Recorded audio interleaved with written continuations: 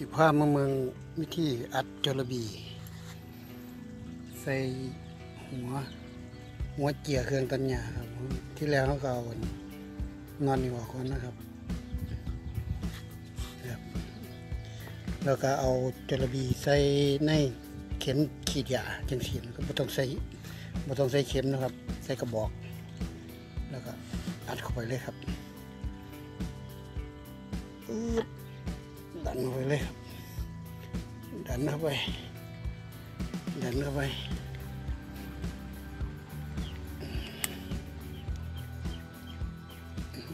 ครับ